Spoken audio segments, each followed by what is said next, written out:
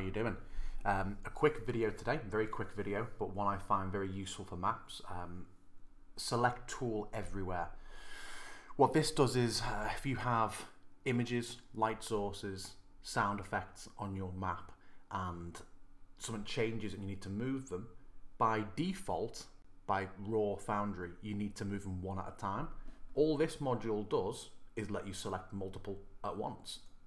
So if I put my map into light mode, you can see my light sources come up.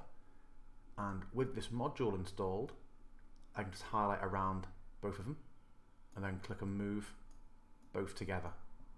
Nice time saver. Um, applies to audio as well. Anything that has a selector tool, you can already do this with tokens obviously, um, but you couldn't do it with audio and light assets, which is a real pain.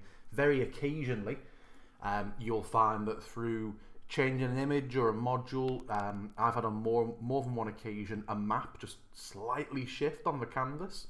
Um, it happened to me with one of my floors of Ravenloft, which is a hugely complex map, and it was a pain in the arse to fix. I could select all the walls and shift them back to where they needed to be, but all the assets have been thrown out a little bit. If I'd had this, it would have been amazing because I could have just zoomed out, highlighted everything, and then just shifted it that slight bit needed to readjust it all. Um, so yeah, that is a tremendously straightforward module. probably One of the quickest videos I've done, but it's a if you're designing maps and you're moving things around in bulk, totally worth it. Hope you found it useful. Speak to you soon.